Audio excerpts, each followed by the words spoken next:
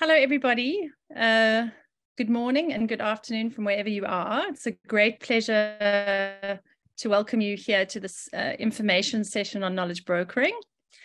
I'm Lisa McNamara, and I'm the Director of Knowledge and Global Engagement for the Climate and Development Knowledge Network, CDKN. And if you're less familiar with CDKN, it's we're a, a global Southern-led network, a program that's been operating since 2010 and we work in Africa, Asia, and Latin America. And we really focus on processes to move knowledge into climate action. And over the last, really trying on our lessons on knowledge brokering. And the culmination of that is also is, is what we're going to share with you here today. We're just going to share some of the insights and reflections and lessons that we've gathered. And the process has been led by Lucia Scodanibbio, my colleague, who's the learning advisor for CDKN. And yeah, we really we welcome you here today and look forward to this session. And we're just going to have a, a presentation that Lucia is going to do, and then we're going to follow that with Q&A. So quite a simple session. And please feel free to share any questions that you may have in the chat as we go along. And then after the presentation, we'll have a, a Q&A and a discussion, and then we'll close. So without further ado, I'm going to hand over to, to Lucia. Great, uh, thank you, Lisa. And uh, let me actually stop sharing the, the screen for a moment uh, because uh, we'd like to uh, to start with a, a chat shower. So um, I don't know how many of you know the, the concept, but uh, what it means is that you can all open your chat box and we would like to hear from you what comes to mind when you uh, hear the word knowledge brokering or when you think about the concept of knowledge brokering. So if you could all type that in your chat box, but please don't press send yet. We wanted to, to really be a shower so that uh, at uh, in about 30 seconds or so, I will uh, I will give you the go to uh, to post what you think about uh, uh, the concept knowledge brokering and then we can just see what uh, yeah what is our collective understanding of this uh, this term and concept that uh, is what is uh, bringing us all together today. So i'll give you a few more seconds let's say 10 seconds to uh, to just write what comes to mind immediately when you think of knowledge brokering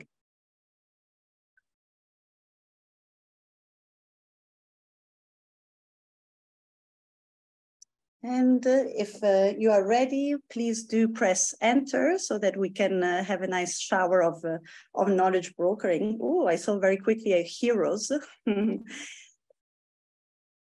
Wild West Snake. Oh, it really is a shower. it's quite difficult to keep up with the with all the results coming in. But let me just um, go to the top and see what what I hear, the process of producing and disseminating knowledge and research. That sounds like a, a good used definition for sure of knowledge brokering. I did like the, the heroes, offering knowledge in exchange of its concrete use. The concept of facilitation, that's uh, definitely a role that, uh, that knowledge brokers take. listening and co-learning, lovely building bridges, also something that we hear about very often uh, knowledge brokers are these uh, builders of bridges, uh, linking knowledge users and producers, uh, simplicity and understanding, dialogue. Um, Chris, uh, our uh, old uh, CDKN friend, is always looking for something controversial. Wild West snake oil salesperson. um, opening the knowledge policy practice interface. Uh, very nice, uh, Laurent. Um, synthesis and learning, connection, uh, that is also definitely something that knowledge brokers do. Uh, creating relationships, uh, definitely also a very important role. Uh, an exchange for knowledge, someone who sits between researchers and recipients, definitely um, knowledge sharing, information management. This is great. Uh, I think it's uh, it's definitely all of this, uh, as you will uh, will hear now in the presentation that uh, I'll take you through. So perhaps it's a it's a good moment to start. But thank you very much for for all your contributions. And uh, let me go back to to screen sharing. As Lisa said, we're going to be discussing um, a little bit of some of the lessons that we have learned as we have worked on, on knowledge brokering and uh, reflecting on the process of knowledge brokering uh, over the past three years, although CDKN's work in knowledge brokering has been much longer. So um, let me start by uh, a note perhaps on uh, on terminology. Uh, the word brokering, uh, that is uh, the word that we have been using, is uh, is actually something that is not perhaps always ideal. Sometimes we see that uh, people's perception of knowledge brokering is um, and of the specific word brokering is uh, is quite bad because of a financial transaction that often happens as brokers for example estate brokers stock brokers insurance brokers uh, are these uh, middle person between a buyer and a seller so definitely in CDKN, that is not how we're thinking about it. There is no financial transaction. And we have used one of the definitions that uh, also one of you put in, a, in our chat box. So there are these links between producers and users of knowledge to strengthen the generation, dissemination, and eventual use of that knowledge. So with CDKN, we started like our reflection processes using this definition it has now evolved, and that is a process that I will take you through uh, in this presentation. So we also started with using this uh, spectrum that uh, comes from originally Harvey and Shaxson. Um, and uh, here you can see the variety of roles that knowledge brokers take. So for example, on the left-hand side of the spectrum, we see that they can be intermediaries. Here they're really filtering information, helping to make it more accessible and available. So you may think of a climate portal as a typical example of, uh, of this information mediation process. When we go a bit further along the spectrum, knowledge translators are more summarizing, synthesizing the knowledge. They are uh, tailoring it to, to, context, making it relevant, uh, credible. So here there is an additional layer of um, of synthesis and tailoring and translation that is very important. When we go in the middle of the spectrum, the, the knowledge co-creator plays an important role in connecting stakeholders, bringing together diverse types of knowledge so that a process of co-creation and co-production can take place. They, um, they facilitate, they network, they strengthen capacities. So definitely a lot of what you talked about in the chat box is included in this knowledge co-creation uh, process.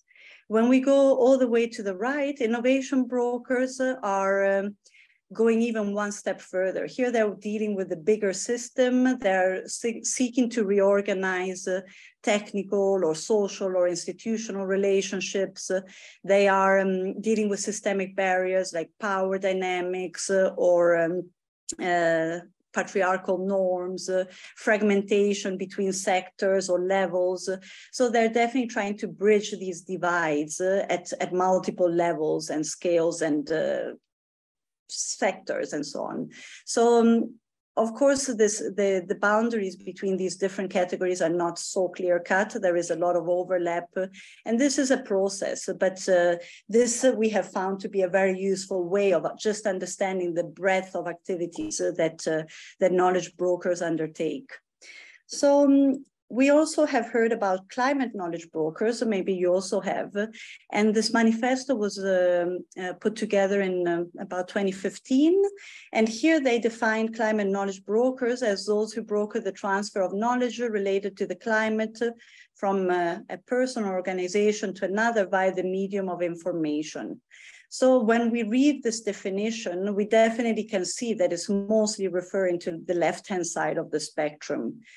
And um, however, we also know that uh, we are in a current uh, crisis, uh, the climate crisis. and if we even just think of what uh, happened with the, um, with the IPCC, what they told us last year, we see that uh, there is a, a, real need to act soon. A further delay in concerted global action will miss this window of opportunity that we have at the moment.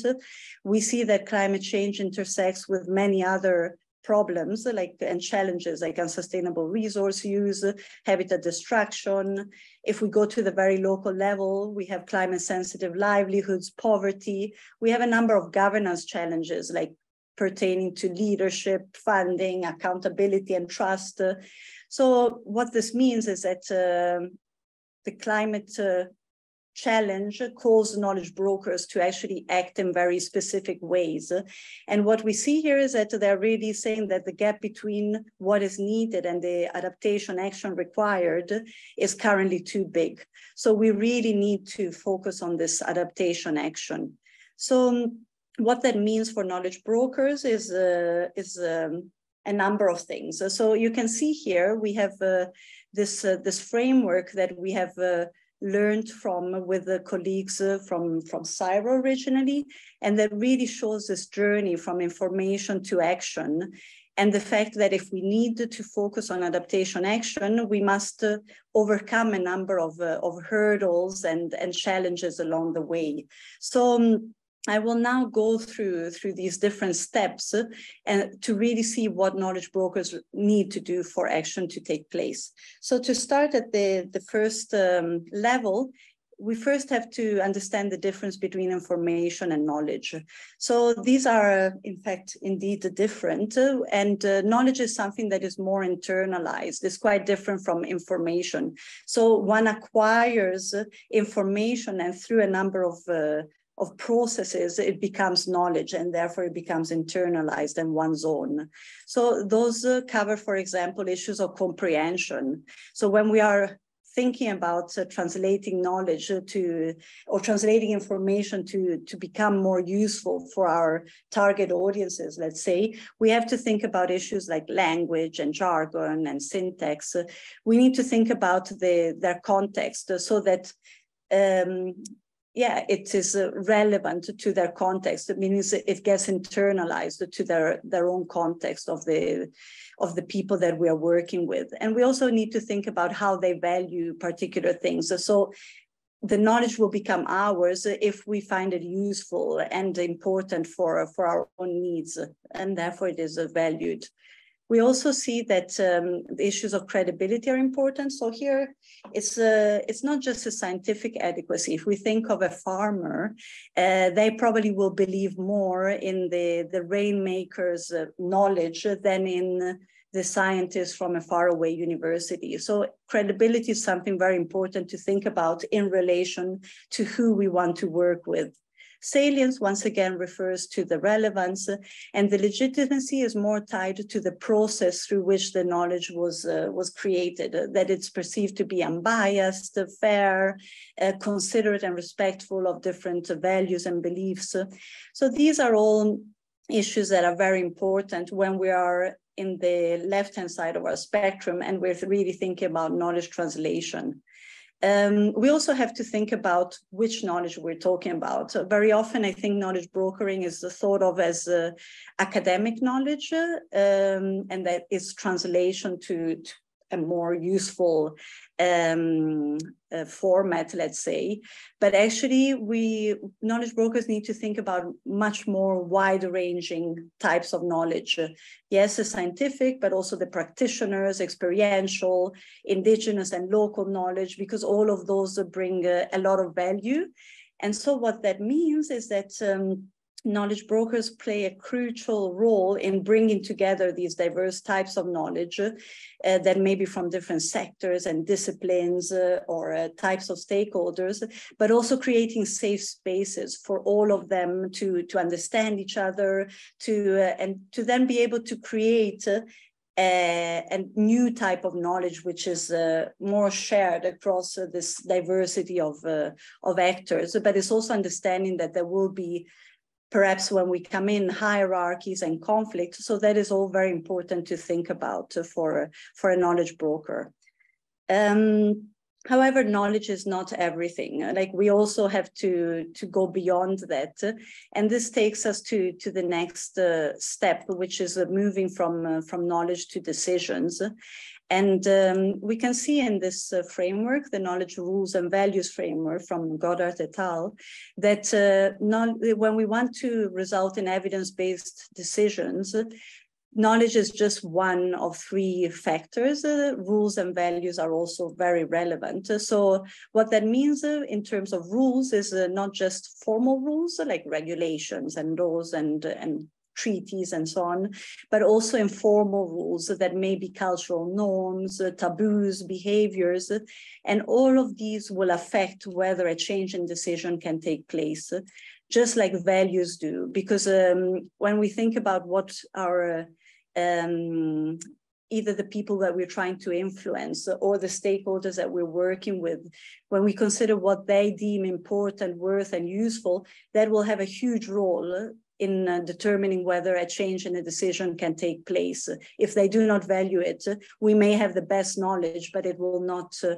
really uh, result in a change politics i don't think i really need to to deter uh, like uh, define for you but um, that also as you uh, i'm sure you all know plays a very large role in this process of of changing or influencing decisions so the knowledge what it tells us is what the outcome could be but then we must think about our stakeholders values. Do they want the outcome? Are we allowed the outcome in terms of the rules that are in place? And do those in power want that outcome? So this just shows you like the, process of of going from knowledge to decisions and uh, and the fact that there are many factors at play um, if you look also at this diagram, you will see how knowledge is one, again, small component in a much big, bigger uh, process which involves different actors, institutions, processes, settings. So once again, it's just important for knowledge brokers to, to really consider this broader decision making and systemic making or systemic context, let's say. So that is also something that uh, the IPCC recognized uh, last year. Uh, they talked about uh, this variety of actors that need to be involved, including marginalized groups, uh, the need to, to reconcile these different interests, values, and worldviews at play. And um, so what this means, once again, for, for knowledge brokers is to really be able to understand these complex governance dynamics, uh, cultural dynamics, uh, um, issues tied to like fragmentation or lack of coordination or power dynamics, uh, differences in our stakeholders and what they value or, or the level of agency that they may or may not have, as all of that has a, a very large role in our process of influencing decisions and action. So um, this is very important for knowledge brokers to, to consider this broader context. Um, of course, then from decisions to action, there is a, another layer in which we have to consider whether there is motivation for action. So that is really tied to the political will and once again to the values and interests at play, as well as capacities. So do we have the human and financial resources, uh, skills uh, to enable the action to take place? So um, from there, I think you will really see that uh, the climate knowledge broker's definition on the left-hand side of the spectrum is not really uh, adequate to what we need to do for adaptation action to, to happen. And knowledge brokers therefore really need to focus much more on this right-hand side of the spectrum. Um, so what that means also is that we have reconsidered this definition of knowledge brokers in CDKN, and we now see them more as facilitators of change that seek to strengthen relationships and networks and understanding on the climate challenge, but it's really based on diverse types of knowledge so that we can result in a change in decisions and action. And that means that it's a process of navigating um, many different factors that go from politics to uh, networks or lack of networks and fragmentation, different values and goals and rules. So um, this is just a small summary that uh, shows uh, what we're expecting from knowledge brokers. And um, I just wanted to share a couple of examples of some of the lessons we have gathered in, in CDKN eh, as we have tried to mainstream or see what the process of mainstreaming climate issues uh, really entails. So for example, one of the challenges that we saw uh, our partners often had is that stakeholders don't uh, necessarily appreciate the significance or urgency of climate change. So what that means then is that uh, we do have to provide uh, like a, a, critical mass of knowledge uh, in a tailored way, uh, accessible, it also means that, that we need to think about what our stakeholders value. So, for example, in Uganda, a study was undertaken during the, the first phase of CDKN in which uh, it, there was an economic assessment of the impacts of climate change on different sectors, agriculture, water, energy. And what the study showed is that the cost of inaction on climate will be 20 to 24 times higher than the cost of action and adaptation. So that really caught the attention of the finance ministry because uh, they could finally see that something was um, framed in their language, uh, like financial terms. So that is also something very important for knowledge brokers to, to do, but they have to once again go beyond. For example, uh, we see that uh, there is a real need to have tools that can help us develop responses. So we um, the Pani Chautari Water Forum in Nepal, which also we have learned from, uh, really brought together in a multi-stakeholder setting diverse uh, stakeholders, knowledge types uh, to discuss the water, urban water challenges. And they developed uh, responses that were then piloted. They got together again in their multi-stakeholder setting to monitor, discuss, identify new responses. But this really created the link to action as well.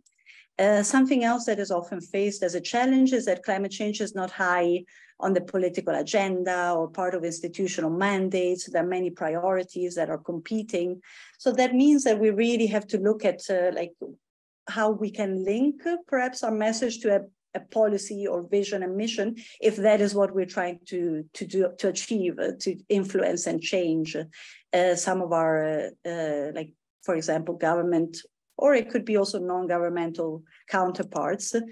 Uh, if links are not so obvious, we have to be creative in finding those connections. So for example, in India, partners um, saw that the disaster risk management authorities were much more uh, decentralized from uh, national to state level to provincial city level.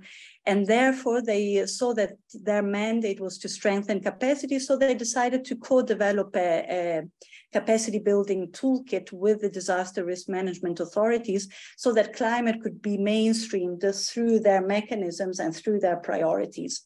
So that is what it means to think a little bit out of the, yeah, the traditional box.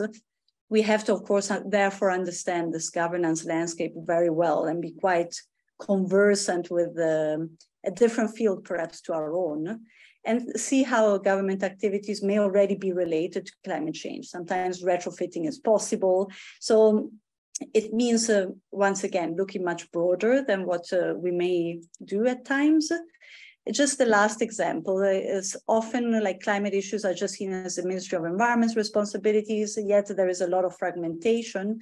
So what that means is, is that we can uh, try to promote horizontal relationships between different departments. So in, uh, in Ethiopia, the a community of practice was formed um, in the past couple of years that brought together the Ministry of Gender, Finance, Environment to really talk about the climate gender nexus. And that has really helped to strengthen relationships between these different actors that normally would not talk to each other. But we may also do it through cross dialogues. It doesn't necessarily have to be so formalized, but the main thing is to try to see how to reduce this fragmentation that is there. So um, we have uh, many of our lessons written up already. We have three learning stories. Uh, I shared the example from Nepal and Uganda. There is a very good one as well from Namibia. We have a journal paper that is just about to be published. We are waiting to, to hear exactly when.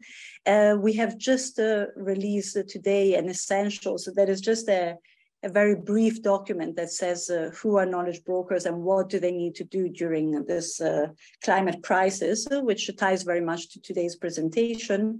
And we are thinking about some next steps around strengthening capacities. Given all of these lessons, what is needed to um, strengthen the capacities of knowledge brokers, which skills may be needed. So in fact, we would like to take advantage of all of your collective views here to uh, um, share a, a, form where you can uh, tell us what needs you feel and gaps are out there for uh, strengthening the capacities of knowledge brokers. So we'll put a, a link in the chat boxes so that you are uh, maybe able to contribute your views about uh, what you think should be included in a, in a capacity program. But um, from there, I think you can just uh, browse our website. We can also put in the link of the of this essentials and some of the other resources in the chat. But I'll stop here and uh, and just wait to hear if there are any questions. Let me stop sharing so that we can see each other better, or I can see you rather.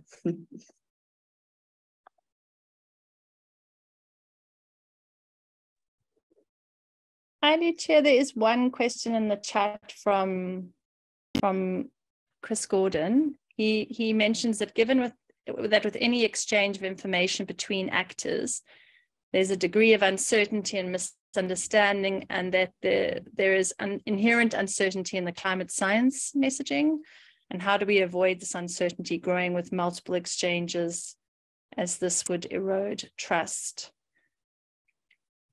Okay, I um I wonder what you mean, Chris, about the exchange of information. But maybe let me just answer, and then you can see whether you uh, you agree or want to come back with it. Uh, I think a lot of uh, what I hope has come through this presentation is that uh, um, I think there's a lot of value in multi-stakeholder processes to exchange information, to understand each other's points of views, and that also means then creating a collective understanding in which these discussions around uncertainty, uh, because of course, uh, things are very uncertain with the with the climate challenge. Uh, I don't think we have the right answers, but that is where there is a lot of value of bringing together these diverse stakeholders, knowledge types, levels, sectors, because that can really help us to then create the shared understanding and perhaps we may not overcome the uncertainty, but at least we create trust as we're all grappling with the same problem.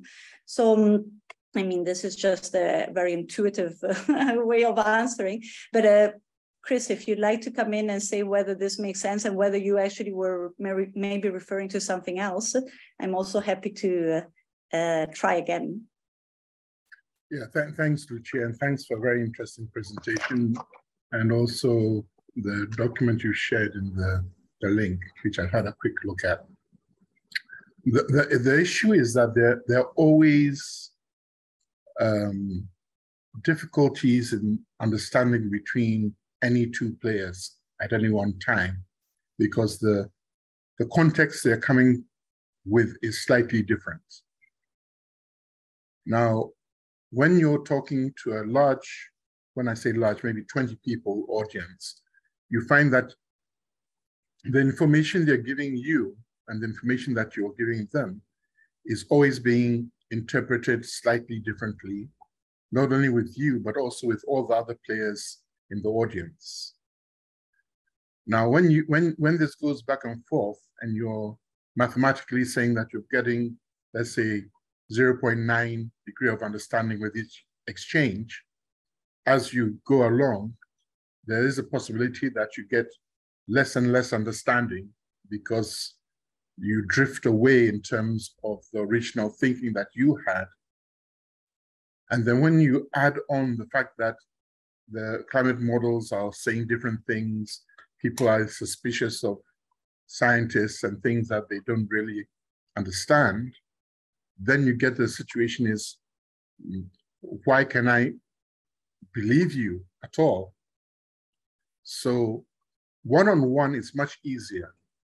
But when you have a, a mixed audience, so we had a, uh, the CDKN meetings we had, we tried to keep it as simple as possible. So we dealt with CSOs or we dealt with gender issues or we de- dealt with the youth or with the media, even within each of these sort of subgroups, you find that the people have different understanding.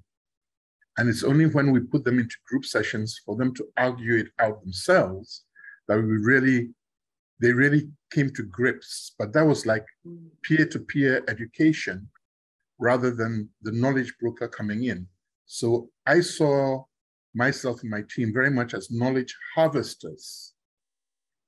Uh, and then we, you know, we, we sort of capture what the participants have discussed. And our role was more like a catalyst, a facilitator mm. to get the conversation going. Thank you. Mm, thank you, Chris. I think those are great. Uh, yeah, you've answered the, the question, uh, but uh, yeah, that's a great uh, contribution. And I totally agree. Knowledge brokers, I think, have to increasingly play this role of catalysts uh, rather than just bringing one type of information to the table. Um, and uh, I think also having exercises that help uh, different viewpoints understand each other. Like there are a lot of uh, like games that say or tools that can be used just for people to place each other like themselves in each other's shoes. I think that can really also help to at least see oh, that's why it's happening. It's because, uh, yeah, we just bring our own world views uh, and uh, understanding. And then uh, I think the other aspect is also that the aspect of strengthening capacity. So I think that, again, a role of the knowledge broker is to help to strengthen capacities, but co-doing that with stakeholders. So how you said, like in small groups, peer learning, understanding from each other, uh, those are all uh, crucial functions. So yeah, thank you for bringing that. I see that there are a few more. Um, so Jahin, he's saying, I believe that for a long time, local civil societies and NGOs have been playing a big role as knowledge brokers. Yes, and I think what's one of the things we've definitely been discovering in CDKN is that um, uh, as we've interacted with different people, they slowly recognize themselves as knowledge brokers, but then maybe they've never used this term. But I think it's a function that has been there and that is there and uh, is very widespread. It's just that we don't necessarily use the word knowledge broker, which may still be a little bit academic, perhaps. Um, Lisa, I'm just continuing to read unless you have a thank you. yes, yes. I think, and I think just to say as well that in one context you might be the knowledge broker, but in the other context you might be doing more of the knowledge harvesting or the knowledge producing. So it it's a continuum where you may play different roles all the time. Um, and it's it's just it's useful to see, yeah, that that you you may be broker in one situation and not in another. But hmm. absolutely, mm. I think that once once you look at this once you look at the spectrum you understand oh i've been doing this knowledge brokering the whole time and i didn't know it i think there was a, a comment from megan spires a key piece of the puzzle has been connecting knowledge brokering with resource flows both are needed for action to be taken even if knowledge brokering is successful Without resources being human, financial, and technology resources, action is hindered. Has CDKN looked at this aspect? Mm. Um, I think that definitely ties to that last part uh, of the of the framework. Let's say where we're saying that yeah, for action to happen, you really need resources. Um, I think in our learning we have uh, mostly looked at examples which did have resources, um, whether from a project or whether, um, well, I think most generally from, yeah, project resources, because it's true that otherwise uh, uh, it's difficult to sustain an activity without any, uh, yeah, any resources. Um, yeah, I see and that Bettina. Oh, yeah. Sorry. Yeah, please go ahead, Lisa, and then uh, you can uh, just one one one comment that yeah i think that there is a very important role sometimes as a matchmaker to connect um, actors with investors or like play that mm. matchmaking role in the resource flows so yeah there's definitely it's that is something that we mm. we do and see as part of the role of, of a knowledge a knowledge broker Um, and then one thing that did come out of the learning quite strongly was that brokers that have been really effective have been able to have long-term processes where they build projects funded projects uh, one after the other so that they they they're constantly looking for ways in which to to keep the resources flowing for their work and they use they they they access those resources from multiple different channels. Um, and that's one capacity of a knowledge broker that's always yeah looking across the time horizon how how they can get support for different aspects and different parts of their their, their process essentially over time. Mm. yeah and maybe to add going even beyond thinking about projects no? So really like it's a continuous flow of activities that uh, has to be sustained. And so i think uh, actually projects and funding cycles often uh, can even they, on one hand they can support of course knowledge brokering work but sometimes can nearly hinder because we cannot uh, achieve certain things in specific timelines with specific log frames, uh, um, especially when we're talking about like long-term impact uh, and uh, yeah, sustain relationships and trust over long periods of time. So those both take time to to start off, but then also cannot be dropped just when a, a project ends. So it's crucial the skill of knowledge brokers to be able to obtain these resources. But uh, Bettina, you had your hand up for a while. Sorry about that. We're no, going a, on. this is a fascinating discussion, and I think really um, important. And also, I think linking to what Chris uh, was putting in the chat about uh, assumptions of uh, gatekeepers and agendas and tensions and dynamics around um, knowledge often being linked to funding and therefore linked to power. So um, I wanted to flag this, but my question is actually a different one, and that is with all this complexity already and the experience that we have. So, how do we need to rejig things when we are working in a world and operating in a world where we are dealing a lot more with compound and cascading risk and actually an even more complex system than we have already been dealing with. So we're dealing with current situation of compound and cascading risk, and we're dealing with future risks that might be really escalating far faster as we thought.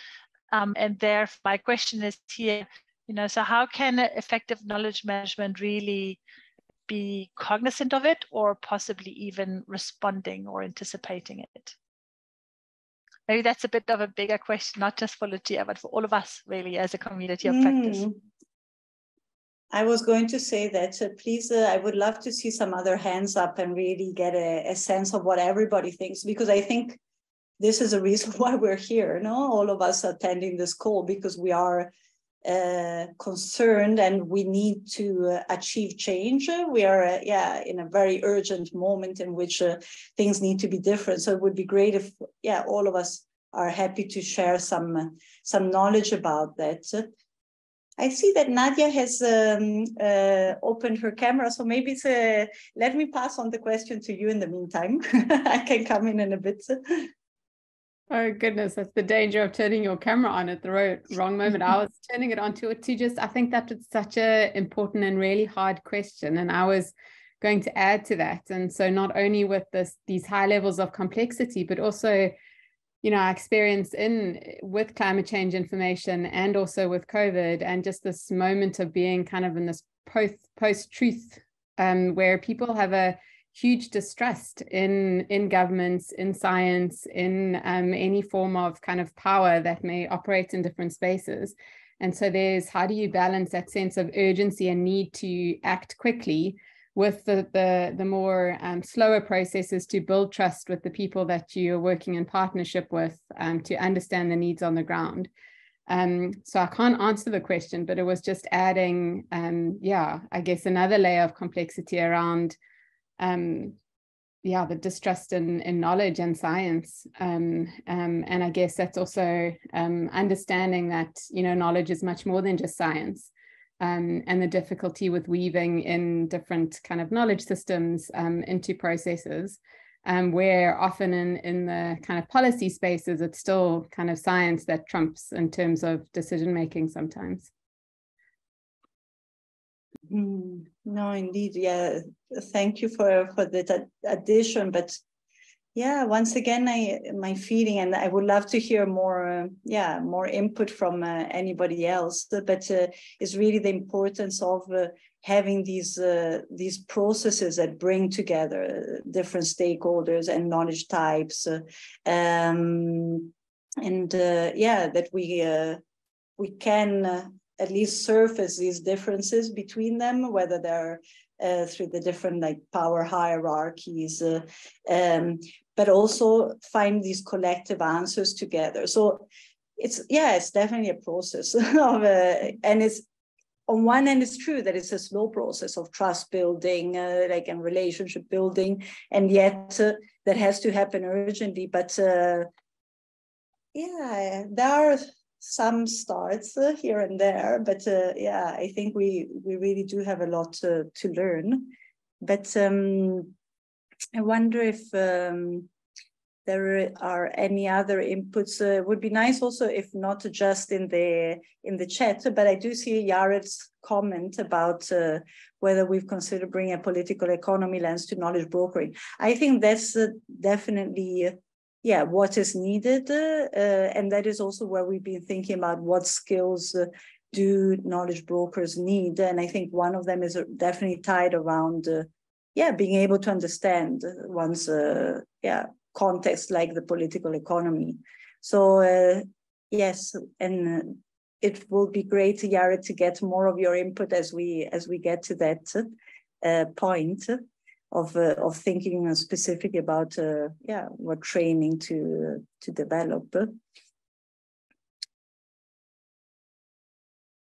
I see also Guy uh, put a comment. Uh, I think the building partnerships and supporting mechanisms. So, uh, um, yeah, again, crucial role no, of knowledge brokers to, to build these partnerships. Uh, but also, yes, these supporting mechanisms like you were talking about, multi-stakeholder governed trusts uh, uh, for more equitable management of resources. Lisa? Now, I'm, I'm going to try and uh, provide one potential solution to the complexity, which is just building on Guy's point that, yeah, I think that I know I know it's touted a lot and it's quite um, mentioned a lot these days, but like this radical collaboration idea that you to to act at the systemic level you have to have partnerships and collaborations between actors who don't normally work together in space mm. across disciplines across you know different spaces so i think not that it's it's a it's a it's a, a solution for for everything but i think yeah really really being serious about collaboration and then trying to build on what's already has momentum and whatever whatever what already has um, is is creating change in a space. And then again one has to understand the context in which to do that. So you really have to understand what's the lever of change in this context and how can I, how can we work with this? Um, but uh, yeah it's it is definitely we can't do it uh, alone. Um, and no actor can do it alone hmm. I see we have a question from Joseph. Uh, can we consider Indigenous people as knowledge producers? And uh, is a project proponent willing to uh, populate their traditional knowledge? Yeah, so I mean, most definitely, this is one of the knowledge uh, types or knowledge holders that need to be brought to, to the table. There is a, as we know, like a, yeah, so much to be learned from the indigenous practices and yeah, the, the, all the solutions that are already there and that often are either ignored or uh, yeah, top-down responses come from outside. So I think that uh, definitely they they are knowledge producers. I think also they could be or and in some cases they definitely are knowledge brokers in their own communities uh, like where when they are uh, saying which measures or adaptation measures may may work better and so on. Um, but uh, yeah definitely a very uh, very relevant uh, actor and knowledge the type. Chris, I see you're adding about uh, the fatigue of communities, or yeah, and can uh, yeah, it sounds quite uh, one way, no? If uh, you're mentioning about bombarding them with information. Um, and again, how can this process be more two-way? How can we be learning with these communities, uh, working with them rather than telling them this is what, uh, um, yeah, what is the right answer? I see Michelle is uh, is there to, I'm sure, to contribute also maybe about this question or. Hi, I'm just, hi everybody. Um, I'm just going back to Joseph's point about and and the discussion about indigenous knowledge mm. and the and and indigenous people as knowledge brokers. I think also we've got to see um, indigenous knowledge and indigenous people as knowledge brokers to to us mm. so giving us the knowledge of the you know from from you know hundreds of years of the of the earth of changes that are happening of a different way of being um, and so yeah so i think that so we are also on the receiving end by we I mean, the kind of international climate change community and, and are getting information and knowledge from Indigenous people towards us as well. And I think we've got to recognize that as well. Hmm. Thank you, Michelle, yeah, for that important addition. Um, I see we also have a comment from uh, about uh, the word broker, which is uh, where we started. That uh, yes, we actually have heard in, that in Bangladesh it's a very problematic word. We thought about it a lot, uh, like as we were doing our learning uh, about knowledge brokering, about this word.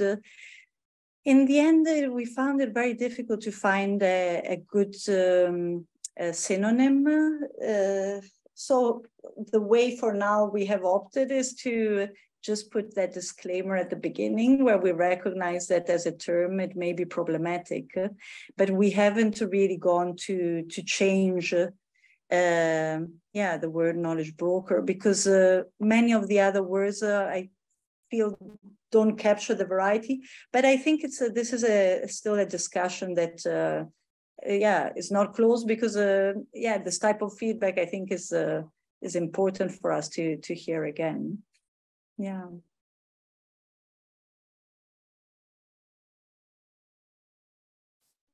I, Lisa would uh, or yeah, Nadia? No, I just I see that Matteo um, uh, has shared a, ni- a nice example of where um, they've attempted to broker the bridge between evidence and policy in Kenya and other African countries. So very thank you very much for sharing that. I don't know if you, if you want to to share any of that example with us. Um, if not, that's fine. but it's always useful to to understand what's being done elsewhere.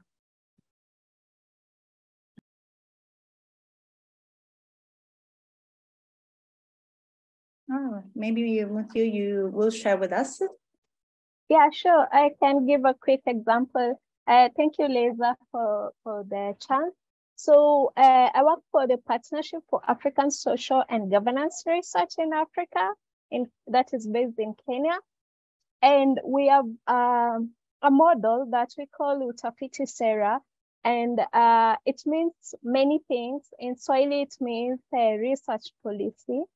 And in the in our Utafiti Sera model, we try to bring all the diverse uh, stakeholders that are concerned with a particular issue uh, on one one setting, and we create we sort of try to create it as a safe uh, safe space for them. We first do stakeholder mapping to understand interest and motivations and all these things. And then we constitute uh, this Utafiti house and we anchor it in, in, in one of the institutions of the people who, who of the stakeholders who are in, who are in this uh, house. And here we try not only to look at the scientific knowledge that they have, but also the tacit knowledge. And we also uh, try to do policy culture studies, uh, in our case for policy, to identify which uh, cultures beyond scientific influence that help or determine policymakers to make certain decisions. And so far, we have seen it to be quite successful. For example, in Kenya, uh, we have uh, we have we have brought on board, for example, one project on engineers who did not who build infrastructure without considering the social aspects of infrastructure. And now the engineers who build roads in Kenya have incorporated uh, a social aspect of building infrastructure. They have made a framework uh, that consider, considers social dimension of infrastructure and they have to they now have to go to the people, uh, assess the impact, for example, a road, a major infrastructure would have to them and so on. So uh, we are trying to make an impact with this. It's not always linear. It's very, it's a very murky process that requires a lot of emotional intelligence for all the people involved, but at least we are seeing some results. Uh, if you can uh, follow the link to get more examples of what we have been doing. Thank you. Thank you. Yeah, that was a yeah really fascinating to hear about that work, and um, yeah, definitely something that we would uh, want to learn more. So thank you so much for sharing, and also for the link. I'm sure many of us will go and check. Um, Nadia, I know that you had your hand up before. Did you um, did you want to come in? Um, it was just to ask, I guess, that question. So, if people had um, experience of processes uh, that worked really well, um, and so I think, you know, if some of that's already been answered, and it's wonderful to have this resource. And I just wondered if others could also share in mm. the chat. I think it's so lovely to hear what has worked in different contexts and some of the challenges. Um, and and and I think for me, um, trying to understand some kind of innovative ways of running processes. So so that is and and something we've been experimenting recently with is around immersive experiences. So how do you bring kind of people's whole beings into the learning process so they can learn kind of with all their senses and using arts-based practices to try and unlock kind of new horizons and imaginaries for for trying to understand different experiences um, different knowledge different perceptions. Um, and i just wondered if others had experience of of things that they've used where there was kind of an aha moment in a group. Because sometimes you you know it's a you, people are nodding and people are smiling but there's not that spark that happens. And i just wondered if if people had those examples of of what unlocked those, those that sparkiness to happen Mm, yeah, indeed, that would be great if uh, if anybody else can uh, can contribute, uh, either on the chat or otherwise. Uh, we're open to have uh, follow up conversations, so uh, you can write to any of us. But that would be great. Um, I also saw that Edmund had asked, I wonder how knowledge brokers can support transformation processes with communities that are dealing with limits like institutional challenges that are hard to change and uh, i think yeah this is a, these uh, like change processes that really i think knowledge brokers need to uh, need to facilitate. And i think it goes back to chris's point earlier that they are, really should be catalysts uh, knowledge brokers of processes uh, so that uh, these dialogues can begin between all the relevant stakeholders that yeah, have a stake in the issue that maybe, for example, land issues. Although, of course, uh, we yeah we cannot be naive. No, once again, we know that there are power dynamics at play. That probably there are people who don't want to, like, uh, for example, land tenure issues to change, and yet. Uh, I think that is where the innovation brokering comes in and where there is a real need to shake systems and to at least start exploring these very difficult conversations uh, and building trust which once again uh, we cannot be naive about. It it's not something that will will happen easily but to uh, yeah start to uh, at least trigger some of these different conversations that are needed and processes where people can be brought together and then exploring also what type of maybe incentive structures like could we be looking at things differently but once again the more stakeholders and knowledge types you bring together the easier it is that through this collective uh, knowledge and dialogue uh, perhaps we can explore um, ways to uh, yeah to change uh, structures that are not working well. But uh, yeah, I yeah I think we really we do recognize the challenges, but uh, yet it's it's what is uh, what is needed. Um, yes, and that ties a little bit also to Chris's addition around the issue of voice and power. Um, and of course, uh, who has the strongest voice is not uh, who maybe represents uh, like the yeah marginalized interests. So, uh, um, and I think that's where also knowledge brokers need these tools. Uh, Chris, you're saying we need to give voice to the group without creating social tension. So once again, I think when we talk about using different tools to surface perhaps power dynamics, I think we also have to be very cognizant about not making things worse because sometimes of course we don't want to uh, uh, like there has to be a space which is safe for everyone and in some cases it uh, it will definitely not be and perhaps the surfacing of the power differences will make things worse so i think that's also where knowledge brokers i yeah need to really be able to navigate these spaces very carefully and once again not be naive just about how how complex it is uh, as soon as we, we bring these uh, different voices together. Um, oh, I'm so sorry. Our form seems not to be working. I will yes. unlock it. Great. Sorry about that, everyone. We'll sort it out right now.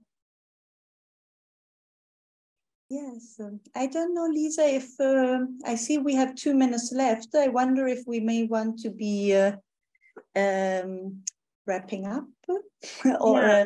are there any last uh, words uh, of wisdom from anyone or from you?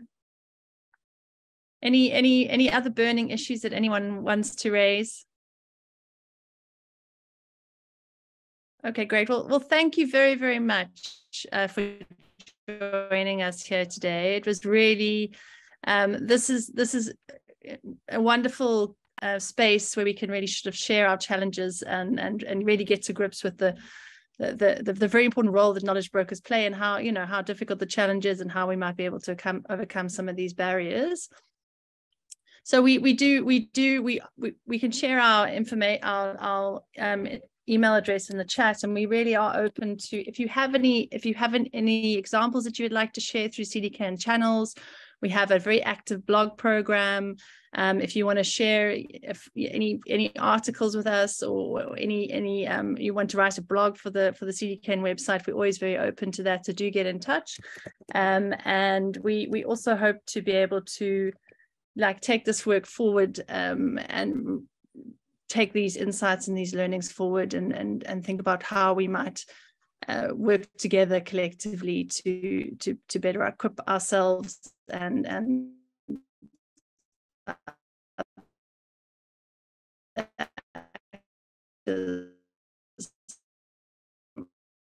on being more effective and um, thank you much for do keep in touch Here's our email address for anyone who wants to share an, a, an effective example of knowledge brokering. Yeah, thank you again, everyone. Bye, all the best. Bye, mm-hmm. thank, thank you. you.